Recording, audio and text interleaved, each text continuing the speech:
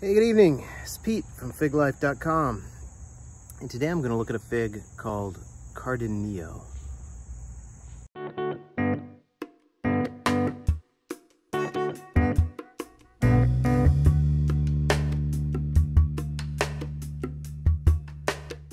Okay, here's my Cardenillo tree. It's in its second year and it's growing pretty well this year. Um, last year I got, it grew well last year too, but I only got maybe like a couple figs off this last year.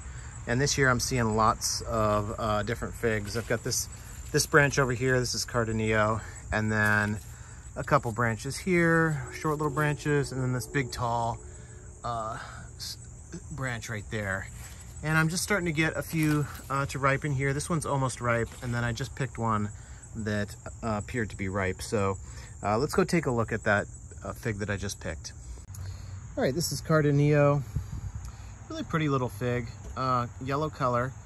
Eye is not completely closed, um, so a little bit open. And uh, yeah, kind of a medium size. This is the first fig I have, uh, first fig I got, first ripe fig I got off this tree this year. So uh, let me go ahead and cut this open and see what the inside looks like. All right, so cut this open and it's looking really good. Uh, looks to be pretty well ripened and I'm not seeing really any spoilage there. I was a little concerned because I, I, had not seen this fig. It was kind of behind a leaf and so I did not have an organza bag on this so I was a little concerned that I'd get some spoilage there around the eye but um, I don't really see anything there so uh, that looks pretty good so let me try this fig. All right. All right, so this is Cardenillo just go ahead and cut this up into smaller pieces. This is a Spanish fig. Um, I don't know too much else about it. I know it's uh, it's supposed to be pretty good. I mean, a lot of people have said really good things about it. So, um, looking forward to trying some. I only got a couple off of this last season. I, I think I mentioned that, uh, but um, they were kind of like not well ripened and they didn't really taste all that good. So uh, this is kind of like almost like the first time I'm trying this fig here. So Cardenillo.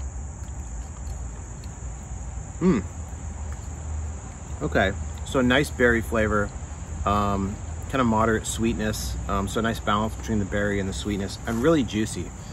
Um, you know, some figs are a little bit more chewy and uh, uh, gelatinous almost. Uh, this one is more juicy, more on the juicy side. Mmm. Yeah. So good flavor.